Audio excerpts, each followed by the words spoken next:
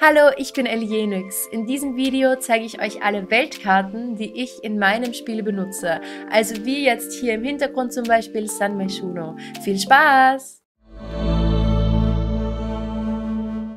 Vielleicht ist es dir schon aufgefallen, die Weltkarten in meinem Spiel sehen ein wenig anders aus als bei dir.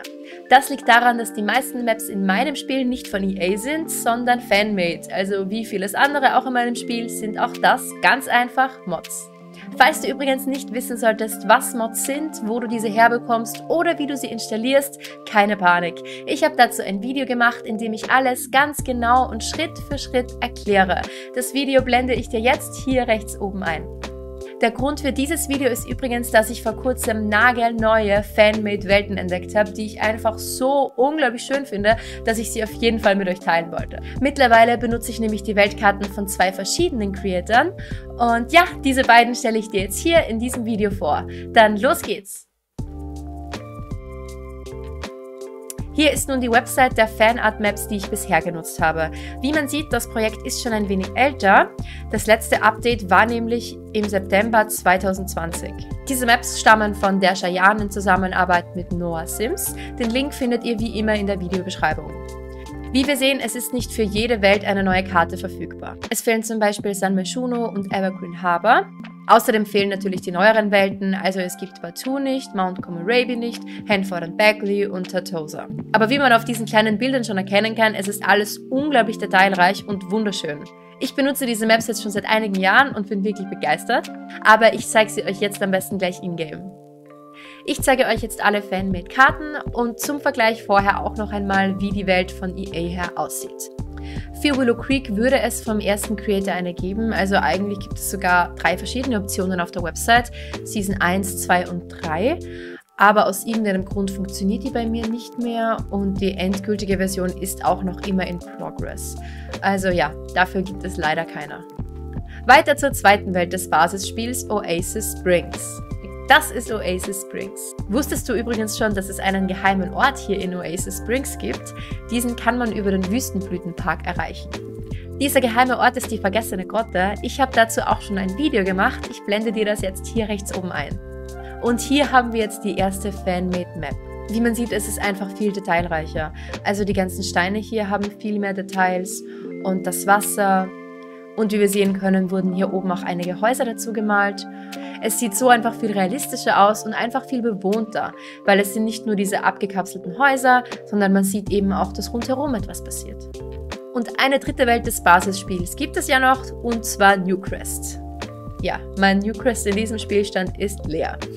Hier haben wir jetzt die überarbeitete Version von Newcrest. Ja, ähm, Newcrest ist nicht unbedingt meine Lieblingswelt aber durch die paar kleinen Details, also einfach die schönen Bäume und die paar Häuser, die jetzt noch dazugekommen sind, sieht das Ganze einfach schon viel lebendiger aus. Mit der Erweiterung an die Arbeit kam dann Manolia Promenade. Wie Newcrest ist auch das eine sehr, sehr kleine Welt und hat jetzt nicht unbedingt so viel zu bieten. Aber ich finde, auch diese wird durch die Details, einfach durch die Häuser und durch die Bäume um einiges mehr abgerundet. Besonders schön finde ich hier diesen Park. Ich meine, schade, dass man ihn nicht wirklich begehen kann, aber es sieht zumindest auf der Weltkarte schön aus. Und mit Zeit für Freunde kam dann Windenburg. So sieht das Windenburg von EA aus. Die neue Version von Windenberg ist meiner Meinung nach ein Meisterwerk.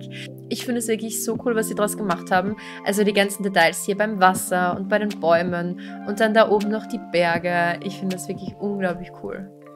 Bei der Hunde- und Katzenerweiterung haben wir dann noch Brindleton Bay. Das ist das Brindleton Bay von EA. Und hier haben wir jetzt das neue Brindleton Bay. Ich finde, Brindleton Bay ist EA selbst schon sehr gut gelungen, aber die ganzen Details mit den vielen Bäumen und dem Wasser und ich liebe es, dass die Creator so kleine Details hinzugefügt haben. Also hier oben zum Beispiel die Ecke oder hier dieses verlassene Häuschen. Ich finde die Welt einfach unglaublich schön. Und dank Werdeberühmt gibt es natürlich noch Del Sol Valley. Ich finde, sie haben noch einmal mehr unterstrichen, was EA mit dieser Welt aussagen wollte. Also, dass wir hier eben die Häuser der Reichen haben und dann da unten eher die ärmeren Industrieviertel. Ich finde, Del Sol Valley ist den Creatoren so gut gelungen.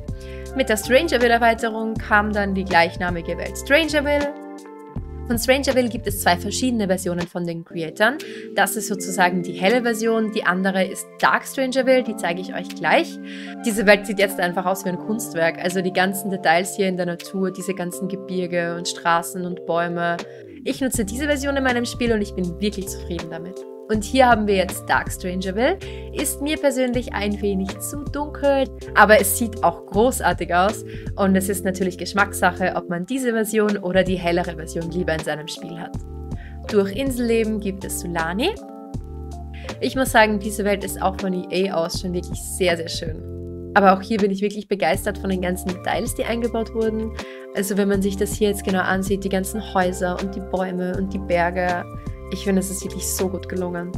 Dank Reich der Magie gibt es die magische Welt Glimmerbrook. Und auch die neue Version von Glimmerbrook ist einfach großartig. Ich meine, schaut euch diese ganzen Details an. Durch an die Uni gibt es Brightchester. Und Brightchester, ich glaube, hierzu muss ich wirklich nicht viel sagen. Es spricht für sich selbst. Also die ganzen Häuser, die hier hinzugebaut wurden. Und ich finde auch super toll, dass am Bahngleis jetzt wirklich ein Zug zu sehen ist. Ja, großartig. Und dann gibt es natürlich noch Evergreen Harbor, Mount Comoraby und Hanford and Bagley. Aber ich habe ja schon vorhin gesagt, dass das Projekt mittlerweile leider stillsteht und deswegen gibt es auch zu diesen drei Welten leider keine Fan-Made Maps. Und dann natürlich noch die Reisewelten. Hier habe ich leider nur Granite Falls. Und das ist eben Granite Falls von EA. Diese Reisewelt kommt natürlich durch Outdoor-Leben. Und hier haben wir jetzt Granite Falls, also einfach atemberaubende Natur. Ich finde vor allem hier die Wasserfälle absolut großartig und dass sie noch mehr Bäume hinzugefügt haben, so wirken die Grundstücke noch viel versteckter. Für Batu gibt es ohnehin keine Fanmade-Map. Für Salvadorada würde es eine geben, aber ich habe leider die Dschungelabenteuer-Erweiterung nicht. Und das waren jetzt alle Fanmade-Weltkarten, die ich bisher genutzt habe. Ich finde es unglaublich schade, dass das Projekt jetzt schon so lange stillsteht und ich hoffe, dass sie es wirklich bald weiterführen. Aber wer weiß, vielleicht gibt es ja bald einmal ein neues Update. Aber wie zu Beginn des Videos schon angekündigt, habe ich vor kurzem nagelneue Fanmade Maps entdeckt. Und diese möchte ich euch jetzt auch noch vorstellen.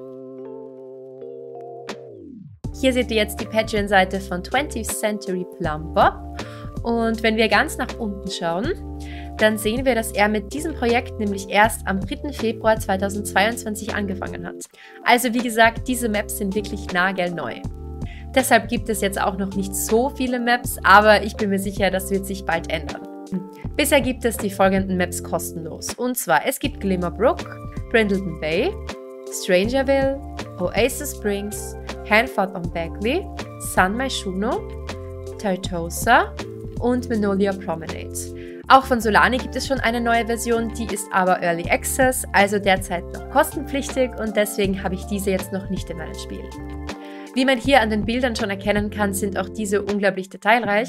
Ich zeige euch das jetzt gleich am Beispiel von Tartosa, weil diese Welt habe ich ja leider nicht in meinem Spiel und deswegen kann ich euch die anders nicht zeigen. Hier sehen wir eben das Map Replacement von Tartosa.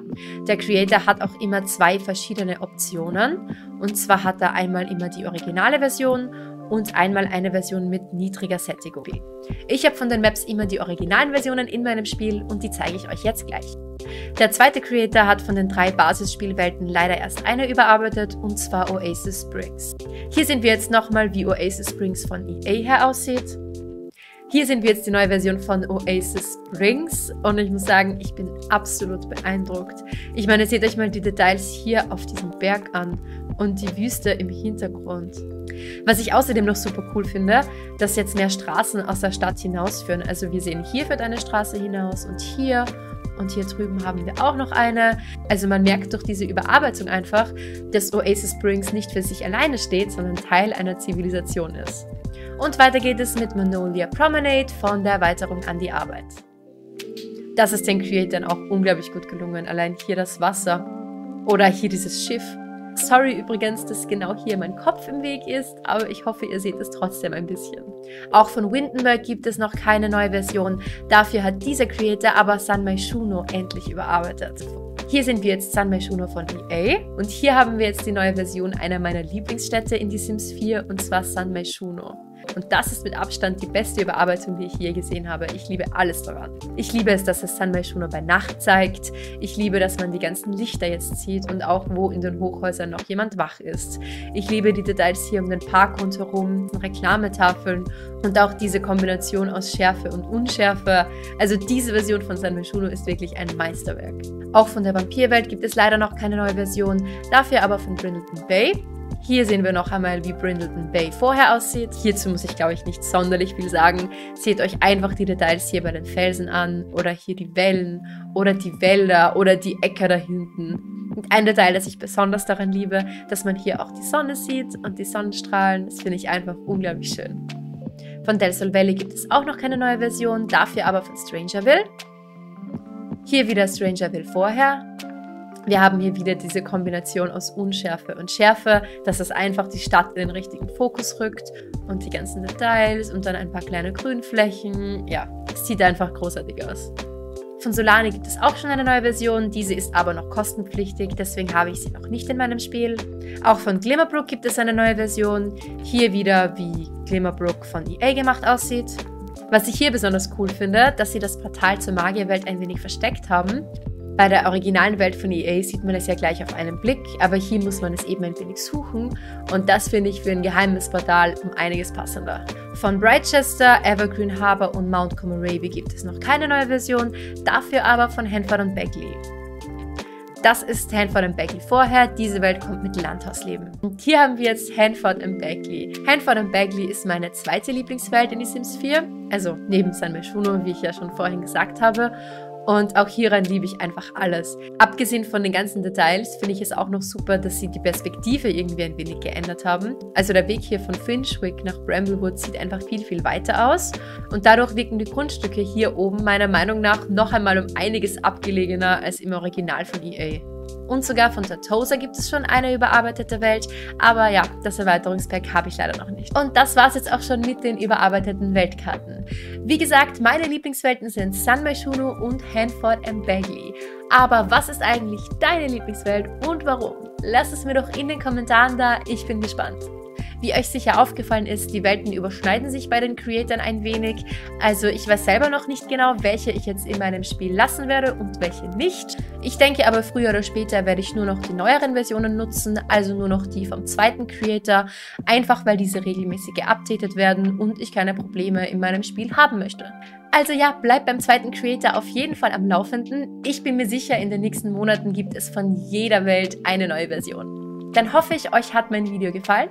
Wie immer freue ich mich über jedes Like, über jedes Abo, über jedes Kommentar. Ich bin ganz neu bei YouTube und ich kann genau deinen Support wirklich brauchen. Ja, dann hoffe ich, wir sehen uns in meinem nächsten Video wieder. Bis bald!